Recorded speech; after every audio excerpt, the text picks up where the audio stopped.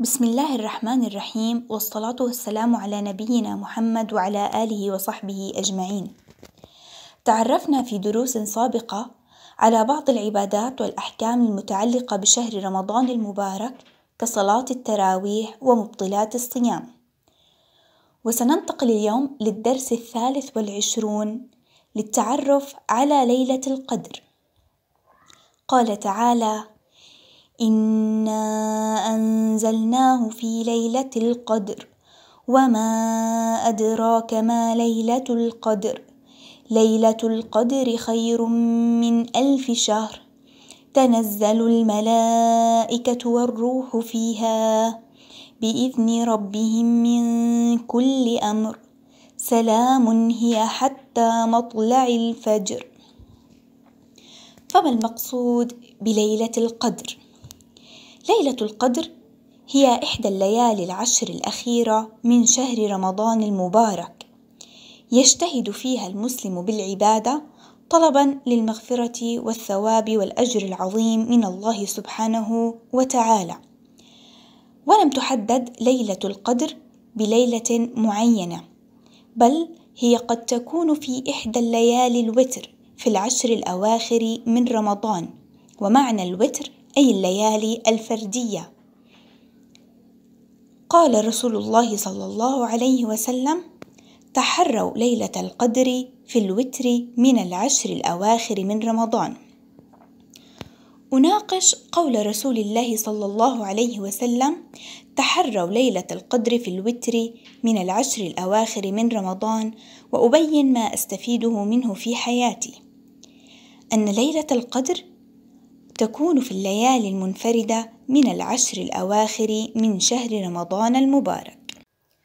نشاط واحد صفحة أربعة وتسعين. املأ الفراغ فيما يأتي.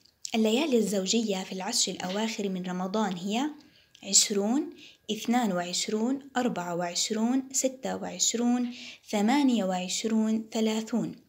الليالي الفردية في العشر الأواخر من رمضان هي واحد وعشرون ثلاثة وعشرون خمسة وعشرون سبعة وعشرون تسعة وعشرون. فضلها وأما في الحديث عن فضل هذه الليلة المباركة فيظهر فضلها أولا أنه بدأ فيها نزول كلام الله سبحانه وتعالى وهو القرآن الكريم. ثانيا العبادة فيها خير من العبادة في ألف شهر. وذلك لأن الله سبحانه وتعالى يضاعف فيها الأجر والثواب لمن قامها حق قيامه. ثالثا يغفر الله سبحانه وتعالى لعباده الصائمين العابدين ذنوبهم. رابعا فيها يتنزل الملائكة وجبريل عليهم السلام جميعا إلى الأرض. نشاط اثنين أكتب فضل ليلة القدر الذي ذكر في كل مما يأتي. هون رح نربط بين الآيات وبين الفضائل اللي حكينا عنها. الآية الأولى إنا أنزلناه في ليلة القدر بدء نزول القرآن الكريم فيها. الآية الثانية ليلة القدر خير من ألف شهر العبادة فيها أجر عظيم فهي خير من عبادة ألف شهر. الآية الثالثة: تنزل الملائكة والروح فيها بإذن ربهم من كل أمر. نزول جبريل عليه السلام والملائكة الكرام للأرض. الآية الرابعة: إنا أنزلناه في ليلة مباركة. أنها ليلة مباركة وقد نزل فيها القرآن الكريم.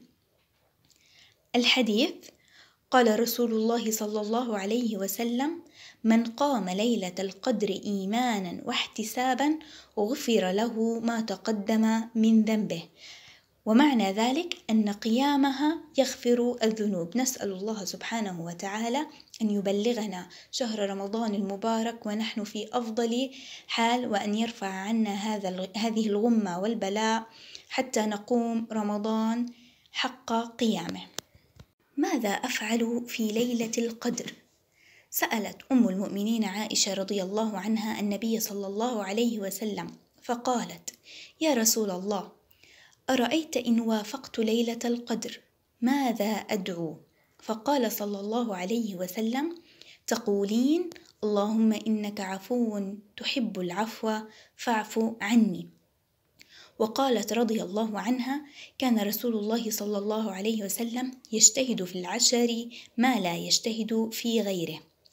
الدرس المستفاد من ذلك أن الإنسان لا بد أن يعبد الله سبحانه وتعالى في كل أوقاته. ويزيد في العبادة في شهر رمضان المبارك ويزيد في العبادة أكثر في ليلة القدر. وهون ركزت السيدة عائشة رضي الله عنها على عبادة الدعاء. يعني هي عندما سألت الرسول صلى الله عليه وسلم سألته ماذا أدعو. فالرسول صلى الله عليه وسلم وصانا هنا بهذا الدعاء اللهم إنك عفو تحب العفو فاعف عني. طبعا المسلم أيضا يجتهد في كافة العبادات في الصلاة في قراءة القرآن الكريم في التسبيح في الأذكار وغيرها من العبادات. نسأل الله سبحانه وتعالى أن يبلغنا شهر رمضان ونحن في أفضل حال. أعمالي في ليلة القدر أصلي أدعو الله تعالى أقرأ القرآن أسبح وأستغفر. ولك هنا عزيزي الطالب بأن تملأ هذه الفراغات بالعبادات التي تحب. أختبر معلوماتي صفحة 96 السؤال الأول أبين معنى ليلة القدر.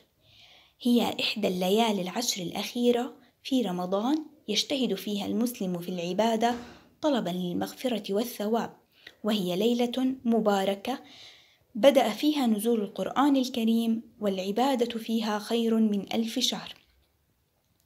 السؤال الثاني أمرنا رسول الله صلى الله عليه وسلم أن نتحرى ليلة القدر في ليالي الوتر من العشر الأواخر من رمضان.